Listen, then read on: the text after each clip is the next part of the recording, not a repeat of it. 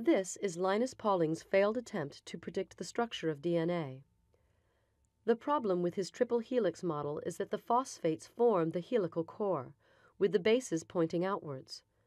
This would be impossible under normal cellular conditions. Each phosphate group is negatively charged, and so many negative charges forced together would repel each other, literally driving the structure apart.